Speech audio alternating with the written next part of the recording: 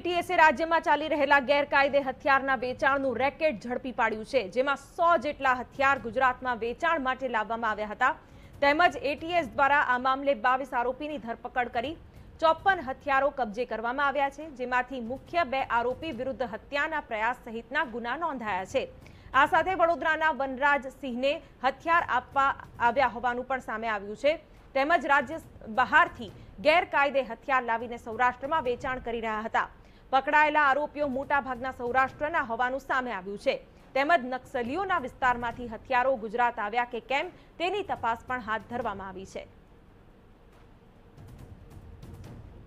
पिछले दो साल में ये लोग मध्य प्रदेश से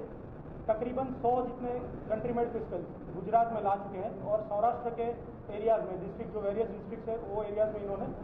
बेचे हैं उसके अनुसार उनसे, उनके जिनको बेचा हुआ है, उनके नाम और उनकी जो एड्रेस है, उनकी डिटेल्स लेते हुए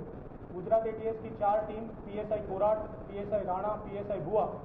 और पीएसआई व्यास उनके लीडरशिप में यहाँ से डिस्पैच की गई थी।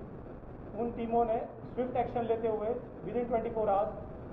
22 अक्यूज को एप्रीहेंड कर लिया है और उनके पास से और 50 वेपन्स सीज किए गए हैं। तो within 24 four hours Gujarat ATS ने 24 आरोपी और 54 वेपन्स कंट्रीमेंट पिस्टल सीज किए